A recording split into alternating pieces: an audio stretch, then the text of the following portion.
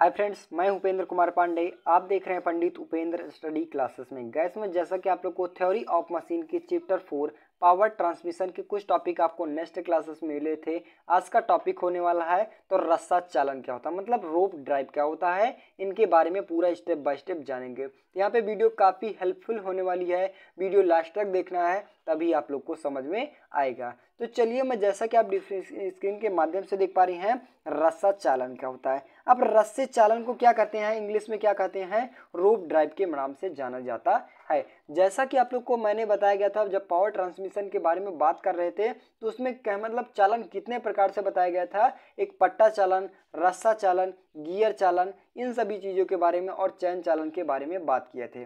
जैसा कि आप लोग को नेक्स्ट क्लासेस में मैंने पट्टे चालन के बारे में बात किया था, और आज का टॉपिक होने वाला है तो रस्सा चालन।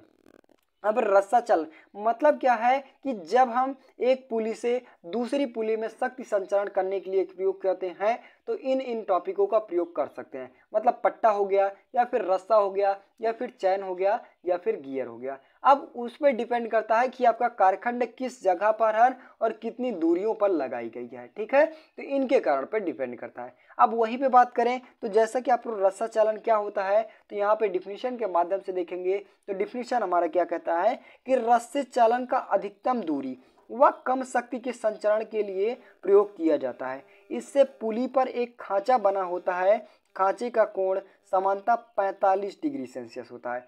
आपके एग्ज़ाम में आ सकता है कि जो रस्से चालन का होता है मतलब रस्से चालन की जो पुली होती है, वो कितने एंगल पर मूव होती है मतलब कितने एंगल पर मुड़ी होती है तो आपका 45 डिग्री सेल्सियस पर मुड़ी होती है। आगे बात करें, इसका अनुपात वी पट्टा चालन से भांति ही ज्ञात किया जा सकता है। मतलब क्या होता है कि जो रस्सा चालन होता है रस्से चालन में जो पुलियाँ लगाई जाती हैं, उसमें क्या, किस प्रकार से उसका मोबाइल होता है? मतलब वी आकार में कुछ ना कुछ होता है, ठीक है? पुली जिस प्रकार से यूज़ की जाती है। और वहीं पे बात करें तो जो रस्सा चालन का उपयोग कहाँ किया जाता है? ज़्यादा से ज़्यादा दूरी में मतलब ज़्यादा से ज़्यादा दूरी पुली मतलब एक पुली की दूरी और दूसरी पुली की दूरी लगभग बहुत ज़्यादा गैपिंग की जाती है। तो वहाँ पे जैसा कि आप लोग को एक पुली से और दूसरी पुली की गैपिंग ज़्यादा होती है तो इसका प्रयोग कौन सा चलन का प्रयोग कर जाता है? तो रोप ड्राइव मतलब रस्सा चलन का प्रयोग किया जाता है। ठीक है? नेक्स्ट बात करें वहीं पे तो आगे कहता है कि यहाँ पे इसका जो तनाव अनुपात होता है, वो तनाव अनुपात किससे डिनोट किया जाता है? तो तनाव अनुपात T one upon T two और e mu theta cos alpha हो जाता है। ठीक नेक्स्ट बात करें पे तो नेक्स्ट टॉपिक पूछता है कि जो बी पट्टा चालन के चपटा और पट्टा चालन की अपेक्षा लाभ होता है। मतलब जो पी पट्टा चालन होता है और वहीं पे चपटा पट्टा चालन होता है, उसकी अपेक्षा लाभ कौन कौन से होते हैं, इनके बारे में देखेंगे। तो यहाँ पे देखेंगे, जैसा कि आप स्क्रीन के माध्यम से देख पा रहे हैं बी पट्टे चालन में चालक और चलित पुली के मध्य कम दूरी होने के कारण यह सनहत इकाई है मतलब सहत इकाई होती है। क्या बताया गया? जो बी पट्टा चालन होता है, उसका चालक और चलित पुली के मध्य कम दूरी होने के कारण इसका सतह इकाई होती है। मतलब जो बी पट्टे चालन होते हैं और चपटे पट्टे चालन होते हैं। बी पट्टा चालन मतलब रस्सा पट्टा चालन होता है वही तो बताया गया। अब रस्से पट्टे चालन और वहाँ पे जो चपटा पट्टा चालन होता है, उनकी अपेक्षा लाभ क्या होती है? तो इसका बात करें तो यहाँ पे जो चलित पुली होती है और चालक पुली होती है, इनके मध्य जो एक सतह इकाई होती है, समान होती है। ठीक? नेक्स्ट बात करें तो बी पट्टे चालन में दोनों तनाव का अनुपात चपटे पट्टे चालन की अपेक्षा अधिक होता है। जो बी प्रकार के, जो बी प्रकार बी बी प्रकार के पट्टे चालन होते हैं, जो उसका तनाव अनुपात होता है, वो चपटे पट्टे की अपेक्षा अधिक होता है। ठीक? नेक्स्ट बात करें मैं पे तो नेक्स्ट टॉपिक पूछता है, जो पी पट्टे चालन में पट्टे के फिसलने की संभावना कम होती है। मतलब जो चपटा पट्टा चालन होता है, उसमें क्या होता है? कि वाई वे किसी ने किसी प्रकार की स्नेहन लग गई या फिर स्नेहन पड़ गया तो उसमें फिसलने का चांस बहुत ज़्यादा पड़ जाता है। और वहीं पे बी प्रकार के अटपट्टे चालन होते हैं, उसमें जो फिसलने का कारण बहुत कम होता है। ठीक? नेक्स्ट बात करें तो शक्ति संचरण के लिए चपटे पट्टे के चलन की अपेक्षा बी पट्टे चलन में कम आवाज़ उत्पन्न करता है। मतलब क्या होता है? जो चपटा पट्टा चालन होता है, वो क्या होता है? जब चालू चालू किया जाता है मतलब जब उसका यूज़ किया जाता है, जब ऑपरेशन किया जाता है तो उसमें चट्ट चट्ट की आवाज़ें आती हैं, बहुत ज़्यादा आती हैं। और वहीं पे बात करें, जो बी पट्टे चालन होते हैं, इसमें बहुत कम आवाज़ें होती हैं। ठीक? आई होप गाइस यहाँ पे आपको बी पट्टे चालन और चपटे पट्टे चालन की बात, अपेक्षा लाभ क्या होते हैं मतलब कौन कौन से अंतर होते हैं और इसके कौन कौन से लाभ होते हैं, इनके बारे में पूरा विधुवत से ढंग से समझ में आ गया होगा। अब नेक्स्ट बात करें वहीं पे तो चप रस्सा चालन के लाभ कौन कौन से होते हैं? रस्सा चालन के लाभ कौन कौन से होते हैं? यहाँ पे स्क्रीन के माध्यम से देखेंगे तो स्क्रीन मतलब डिफिनेशन हमारा क्या कहता है कि रस्सा चालन का पट्टा चालन की अपेक्षा अधिक दूरी पर शक्ति संचरण के लिए करने में सक्षम होता है। मतलब जो पट्टा चालन होता है, उसका भी गैपिंग कुछ ना कुछ रहती है।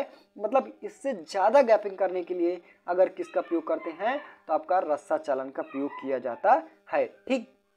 मतलब क्या बताता है? जो पट्टा चालन की अपेक्षा रस्से चालन को ज़्यादा दूरी पर इसका यूज़ कर लिया जाता है। नेक्स्ट बात करें पे तो इसमें तनाव का अनुपात चपटे पट्टे के चालन में अधिक होने के कारण अधिक संचरण संभव होता है। मतलब जो तनाव पट्टा चलन मतलब रस्सा चालन होता है, जो इसका अधिक संचरण मतलब तनाव मतलब तनाव होता है, तनाव होने के बाद, तनाव होने के बाद भी क्या होता है? ज़्यादा इसमें शक्ति संचरण मतलब जल्दी से जल्द मतलब बहुत ज़्यादा इसमें संचरण, शक्ति का संचरण किया जा सकता है। ठीक आई होप गैस यहाँ पे आपको रस्सी चालन के लाभ और बी पट्टे चालन के लाभ और पट्टे चालन के लाभ एकदम इजी ढंग से समझ में आया होगा। नेक्स्ट बात करें वहीं पे तो नेक्स्ट जैसा कि आप लोग को देख पा रहे हैं, फिसलन और सरकन क्या होता है? अब फिसलन क्या होता है और सरकन क्या होता है? यहाँ पे इसको डिफिनीशन के माध्यम से देखेंगे तो डिफिनीशन हमारा क्या कहता है कि पुली एवं पट्टे के रेखीय बेग के अंतर को फिसलन कहते हैं। मतलब जो पुली हो गया और पट्टे के जो पुली और पट्टे के रेखीय बेग के अनुपात को क्या कहते हैं हम? फिसलन कहते हैं। और फिसलन के कारण पट्टे चलन का बेग अनुपात कम हो जाता है। मतलब आपका जो पुली लगाई गई है और पुली के ऊपर क्या लगाया जाता है? आपका पट्टा लगाया जाता है। और जब बाइदवे क्या होता है? पुली। जब क्या होता है? पुली और पट्टे मतलब कहने का मतलब है? जो पुली और पट्टे आपस में घुड़न गति करने लगते हैं तो क्या होता है? पट्टा। पट्टा फिसलने का चांस कुछ ना कुछ बन जाता है, ठीक है? तो वो पार्ट क्या कहलाता है आपका? फिसलन कहलाता है, और वहीं पे बात करें, इसके कारण भी पट्टे चलन का वेग अनुपात कम हो जाता है, जबकि पुली के एक पट्टे के बीच खिंचाव के कारण उसमें सरकने का, सरकना कहलाता है। मतलब क्या होता है कि जब पुली और पट्टे का रेखीय बाग बेग में कुछ ना कुछ अंतर हो जाते हैं, वो क्या होता है? आपका फिसलन होता है और जब कुछ ना कुछ अंतर हो जाते हैं तो जो पट्टे का बेग अनुपात होता है, वो बहुत कम हो जाता है और कम होने के बाद जो चपट्टा होता है, वो फिसलने का चांस यानी सरकने का चांस करता है, वो क्या कहलाता आपका सरकन कहलाता है। ठीक? आई होप गैस यहाँ पे आपको सरकन क्या होता है और फिसलना क्या होता है? और रस्सा चालन और रस्सा चालन के लाभ और बी पट्टे चालन और पट्टा चालन के लाभ एकदम इजी ढंग से समझ में आया होगा। तो बस गैस आज के लिए इतना ही। वीडियो अच्छी लगी हो, चैनल पर नए हो, चैनल को सब्सक्राइब कीजिए, ज़्यादा से ज़्यादा शेयर करने की कोशिश कीजिए। मिलते हैं नेक्स्ट वीडियो में। तब तक के लिए जय हिंद।